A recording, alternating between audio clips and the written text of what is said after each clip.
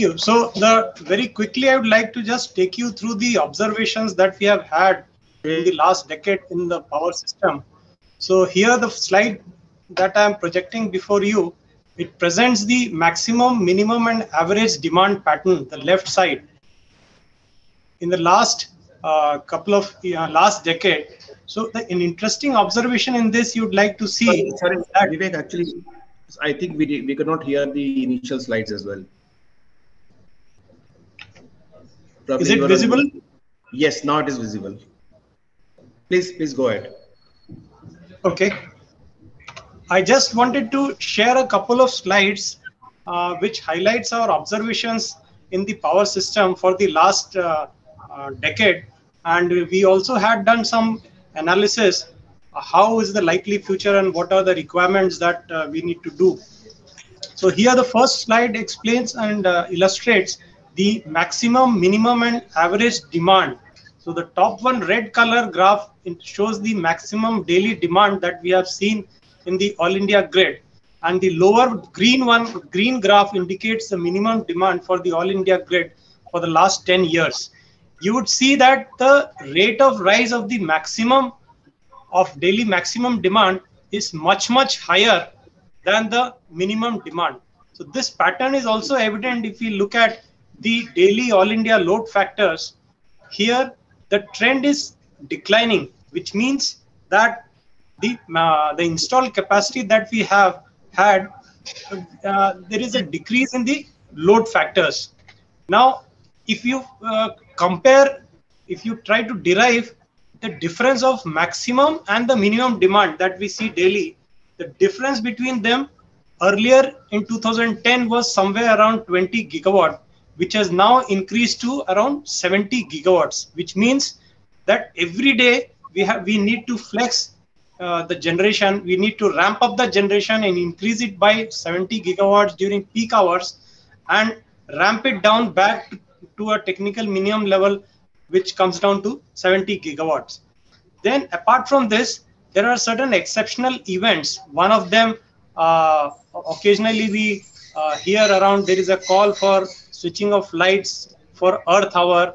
And a similar exceptional event happened on 5th uh, April, 9 p.m. 9 uh, minute event, wherein there was a simultaneous reduction in the demand and there was a requirement to meet that uh, fall in demand and then rise in demand immediately after uh, uh, everybody switches on the lights back.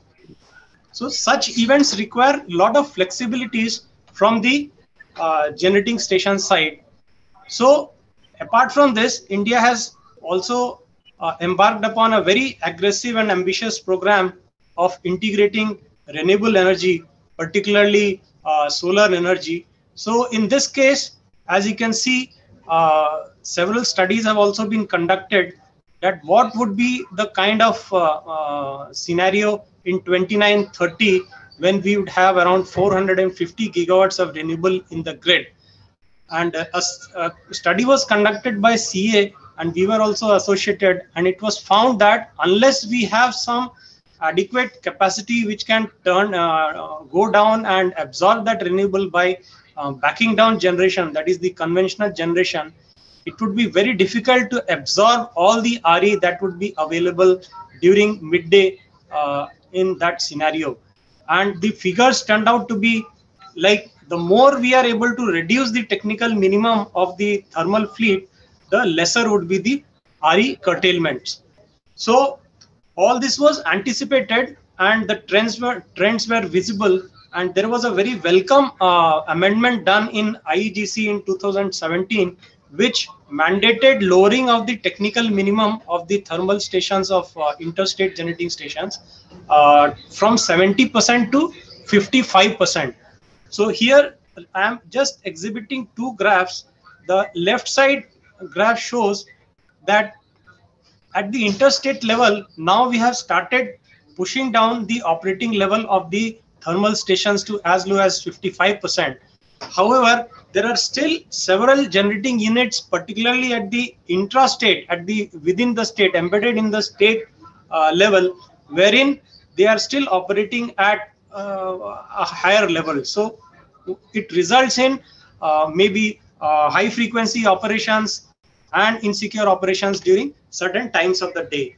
Then another very important development that has happened that CERC had allowed us to undertake a pilot project on security constrained economic dispatch, wherein it tries to uh, bring in kind of all India uh, merit order operation and cause savings by uh, maximizing the generation at the cheapest stations and um, if not required backing down at the costliest stations.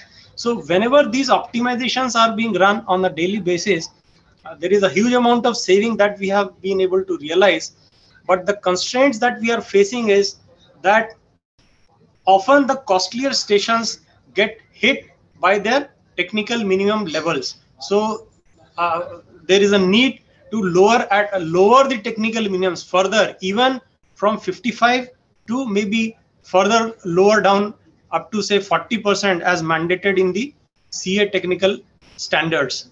Now, apart from this, there is also a requirement that uh, the variability of demand was already there and with uh, the variable and intermittent generation, non-dispatchable generation coming into the grid, we have more and more uh, uncertainties built into the grid and to ensure secure, secure and reliable operation, what we need is reserves.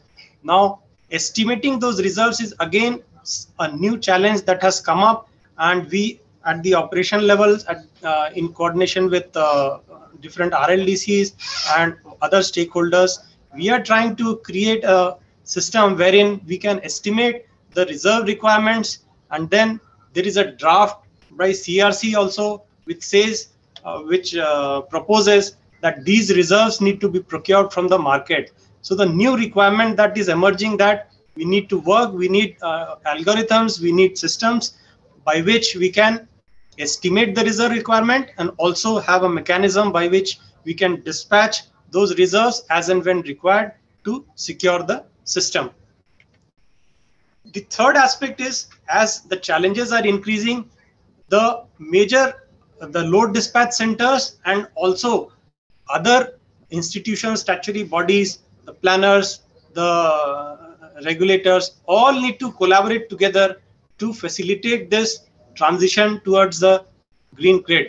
So the uh, the realization that flexibility is the key to achieve that transition has to percolate down in all the organizations, all the people associated, all the people working at the ground level, right up to the topmost decision makers.